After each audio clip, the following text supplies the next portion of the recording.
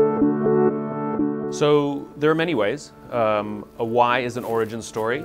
Um, it is the reason why we get out of bed in the morning. It's the reason why we started the business in the first place. The best businesses are usually formed out of personal experience, where I personally suffered a problem, or somebody I love or care about suffered something, and the solution that I found became the business uh, that we built. Um, the weaker businesses tend to be ones where I looked in a magazine, I saw there was an opportunity, and I decided to start a business. And the reason is because people aren't really passionate about that. We're passionate for the things we actually do in our lives. Take a look at Airbnb. Airbnb was started because a bunch of people came for a conference and they opened up their home and had people stay in their air bed and breakfast because they set up all these air beds. That's literally how it started. It was a real solution to a real problem.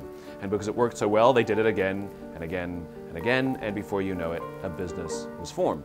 Those are the best ones, but that still doesn't capture the why. The why really is um, based on the founder or founders. It's who you are as people, and the business you form, you form in your own image. Virgin is Richard Branson. Apple is Steve Jobs. It's the same thing. So you really want to go through your own life, and you look at the peaks and valleys in your own life, and you'll find that there's a pattern um, in all of your experiences that you absolutely loved being a part of. That pattern is your why. It's the thing that inspires you the most and the thing that drives your passion.